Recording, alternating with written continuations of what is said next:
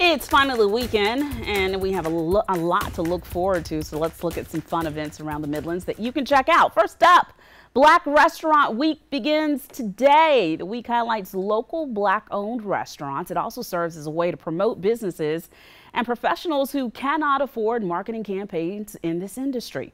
Local restaurants participate, participating, I should say, include Noisy Wings, Esther's Soul Food and Kitchen, and the Toasty Hot Spot. Calling all my fellow sweet potato lovers. Oh gosh, look at those pies. The wait is almost over. It is the Lower Richland Sweet Potato Festival officially starting tomorrow. The event features a parade and live music and of course lots of sweet potato treats. It takes place at 11 o'clock tomorrow morning and it runs until 6 at Hopkins Park.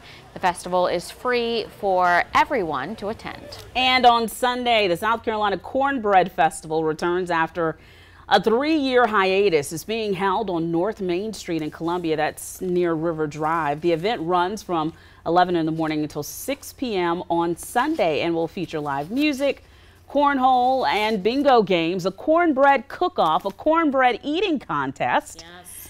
and a lot more.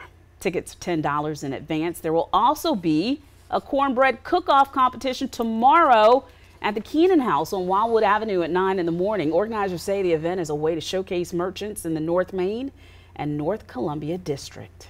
All right, I have a very divisive question for you. All right. Cornbread with corn in it or no corn in your cornbread? No corn in my cornbread, two eggs, and sugar. Okay, I'll agree with that. I like mm -hmm. a mm-hmm. sweet cornbread. Mm -hmm. I like the eggs because I don't like it dry, but I mm-hmm. like a couple pieces of real corn sprinkled in my cornbread. I just feel like it just, it's already named cornbread. What, what are we doing here? This should have been Why our question of the day. How do you make your cornbread? If you would like to send us a message about that on top of your superhero power, go ahead and do it because I am corn in my cornbread. No corn in the cornbread, but definitely sugar.